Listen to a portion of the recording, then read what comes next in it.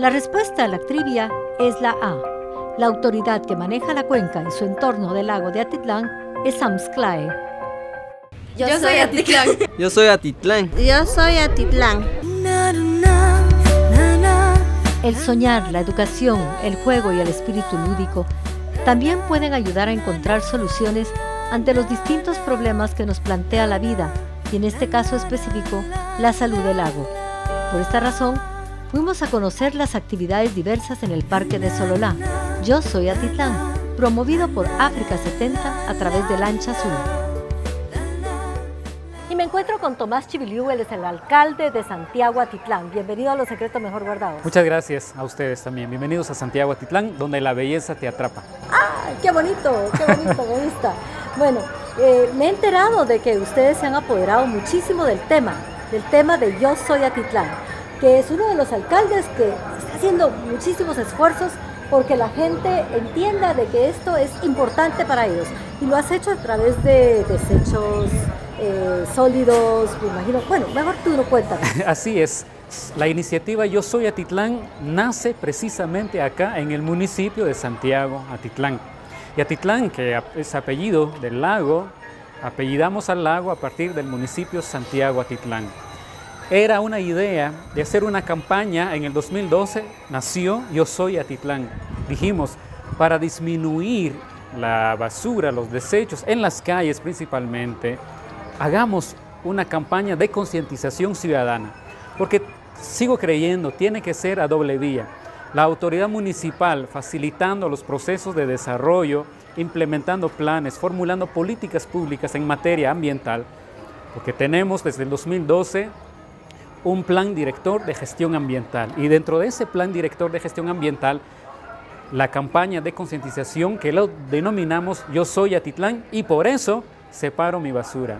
Yo soy ¡Ah, Atitlán y por eso cuido el lago. Yo soy Atitlán y por eso mantengo limpios los recursos naturales.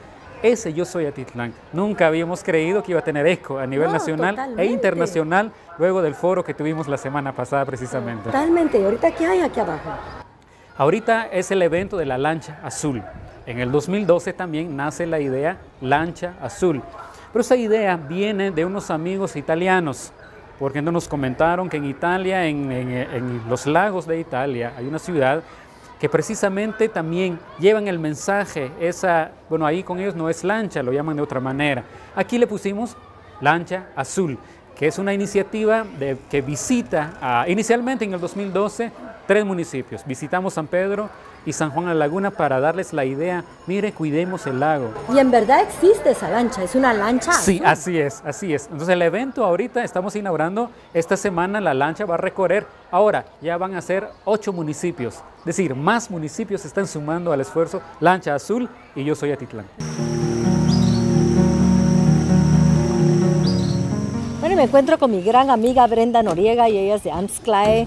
Y quisiera preguntarte, Brenda, ¿cuál es el rol de AMSCLAE en todo esto, toda esta iniciativa que estamos llevando a cabo de Yo Soy Atitlán? Bueno, Vida, muchas gracias. Eh, nosotros pues realmente hemos estado desde el inicio apoyando desde el grupo promotor. La idea es pues eh, llevar un mensaje de sensibilización sobre la preservación y conservación del agua Titlán. Hemos participado eh, desde los diálogos, hemos estado a través de los foros, que eh, es para poder llevar un poco más allá la información, no solo aquí en Guatemala, sino que también a nivel internacional co- con, con instituciones italianas y la cooperación también italiana. Pero aparte de lo que está sucediendo ahorita con esta iniciativa, ¿de qué se trata AMSCLAE? ¿Qué hace AMSCLAE? ¿Recibe fondos? Eh, ¿Puede ejecutar fondos? ¿Qué- ¿Cómo opera? Bueno, AMSCLAE es una institución de- del gobierno, está bajo la vicepresidencia de la República de Guatemala y pues nuestra misión como autoridad de la cuenca del agua Titlán es velar por la preservación de la cuenca y todos los recursos naturales que están en el entorno de la misma, ¿verdad? Y de alguna, de alguna forma también ver el cumplimiento de las normativas para la preservación de la misma. Esperamos que todos vengan a comprarle a Doña Lucrecia sus artesanías, porque ella hace un buen trabajo. Volvemos después de la trivia y corte comercial. Trivia. ¿A qué altura están los volcanes Atitlán, Tolimán y San Pedro? A. Superan los 5.000 metros de altura. B. Superan los 1.000 metros de altura. C. Superan los 3.000 metros de altura. La respuesta después del corte.